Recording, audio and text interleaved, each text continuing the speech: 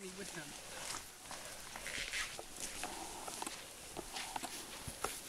You got me with him? He took a film.